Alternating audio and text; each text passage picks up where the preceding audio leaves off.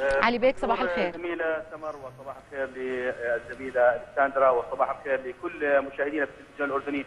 ومستمعي إذاعة الأمن العام في هذا الصباح الطيب. كما أشرت زميلة سمر إحنا اليوم في بث ميداني من إدارة أمن الجسور. وطبعا نشكر عطوفة العقيد الركن الدكتور محمد خالد الغليلات اللي قدم لنا كل التسهيلات حتى نطلع في هذه الحلقة نتحدث عن إنجازات وطن حقيقة تقدم من خلال نشام الأمن العام والأجهزة الأمنية الأخرى. وإخواننا في المؤسسات الثانية للتسهيل والتخفيف على أشقائنا الفلسطينيين.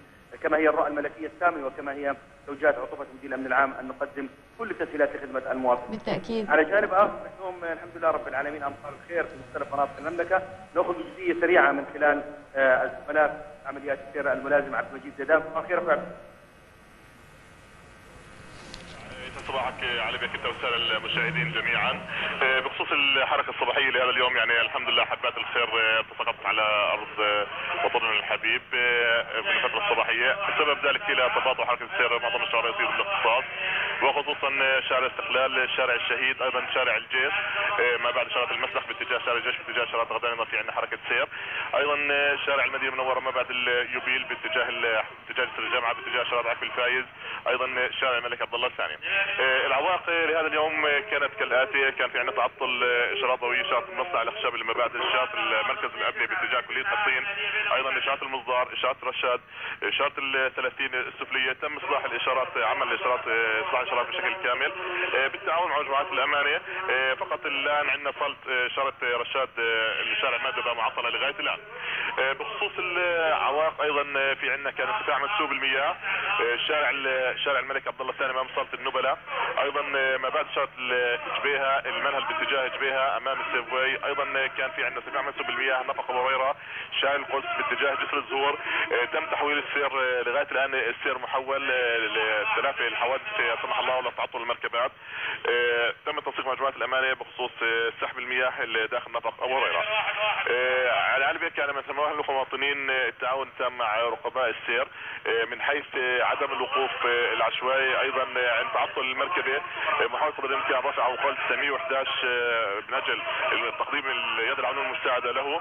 أيضا أيضا الحوادث السير البسيطة رفع الأطراف على اقصى اليمين ما في داعي ايقاف المركبات في الشارع العام لعدم إعاقة السير بشكل كامل. أيضا ما أتمناه السلامه للجميع على بيك ملحوظ اتجاه واتجاه الأمام ادراك شكرا جزيلا إلى الدوريات الخارجية الملازم أشرف بن رشيد صباح الخير. صباح الخير علي بك وكافة إخواننا المستمعين والمشاهدين. طمنا عن حالة الطرق والحالة الجوية في مناطق الاختصاص. صحيح سيدي يعني زالت الآن الحركه الافواج الخارجية حركة نشطة ما زالت على كافة الطرق الخارجية بالكامل. آه سيدي بخصوص الأحوال الجوية ضمن اختصاص المملكة بالكامل يعني طريق الان مناطق الشمال بالكامل الان تشهد ما زالت تشهد امطار متوسطة. مناطق الوسط تشهد أمطار ما بين الغزيره يعني الأزرق الان طريق شويع الأمطار بغزارة بحمد الله. أيضا الموجب العلوي طريق البحر الميت امتدادا لغاية محطة السلمان يعني أمطار والحمد لله بغزارة. مناطق الطريق الصحراوي يعني الان الحمد لله مناطق الحيساء أيضا تشهد أمطار بغزارة. كان فترة صباحية كان في ضباب منطقة النقب الآن الحمد لله تلاشى الضباب منطقة النقب أيضا منطقة ناعور وأيضا علي بيك بخصوص الملحوظة اللي كانت تريلا مسبعة على طريق المفرق جابر يعني الحمد لله تم رفع المركبة بالكامل وازالت العوائق بالكامل عن الطريق العام والآن الحركة تسير انسيابية بفضل الله. يعني سيدي يعني من خلال رؤساء الأقسام من خلال الجولات المقومة بها لتأكد أيضا من انسيابيه حركة السير وتسيير حركة السير على كافة طرقنا ومن عدم انجراف للتربة وأيضا لتجمعات المياه أيضا بمثل هذه الظروف الجوية على بيك يعني ننصح كافة إخواننا بعدم تتابع القريب وعدم السرعة في مثل هذه الظروف الجوية ونتمنى وصول امن. أمنياتنا دائما بالسلامة للجميع، شكرا جزيلا الملازم أشرف بن رشيد غرفة عمليات الدوريات الخارجية أمنياتنا بالسلامة والوصول الامن للجميع، قبل ما نختم لابد ان نتحدث مع عضوة العقيد الركن الدكتور محمد خلف غليلات مدير إدارة أمن الجسور، صباح الخير عطوفتك وتحياتنا لك. صباح الخير. يعني نتحدث عن إدارة أمن الجسور وماذا تقدم هذه النافذة لأشقائنا الفلسطينيين. سيدي العزيز إدارة أمن الجسور تم بالأصل إنشاء جسر الملك حسين بإرادة ملكية ساميه بعام 1967 للتخفيف على أهلنا وأشقائنا بالضفة الغربية نتيجة أحداث 1967 وجميعا نعلمها.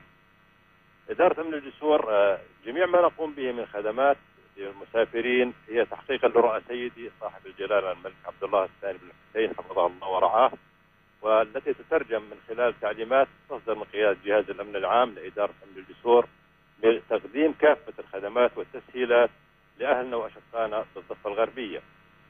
سيدي العزيز إدارة أمن الجسور بالفترة الأخيرة آه، صار في تطويرات في جسر الملك حسين آه، نتحدث عن جزئية بسيطة منها آه، توسعة قاعة القادمين العرب بحيث أصبحت تتسع لأكثر من 1500 مسافر بنفس التوقيت.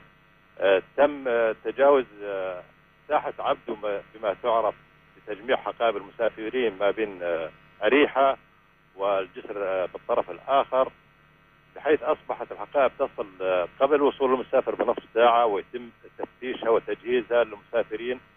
تم تعديل نظام الحوسبة بإدخال المسافرين لدينا. أصبح الباص المسافرين التي الذي يتسع ل 50 مسافر لا يأخذ من التناول الوقت لدينا أكثر من سبع دقائق. كذلك الأمر تم وضع ثلاث أجهزة إكستري لتفتيش الحقائب وذلك لتسريع حركة المسافرين لدينا. أما بالنسبة للمغادرين الآن بمرحلة توسعة قاعدة المغادرين بحيث تتسع لما يقارب 1200 مقعد في نفس التوقيت. وإن شاء الله متوقع ببداية شهر ستة وقبل عطلة المدارس تكون القاعة جاهزة. لاستقبال أعداد المسافرين المتوقعة العام القريب جدا إن شاء الله.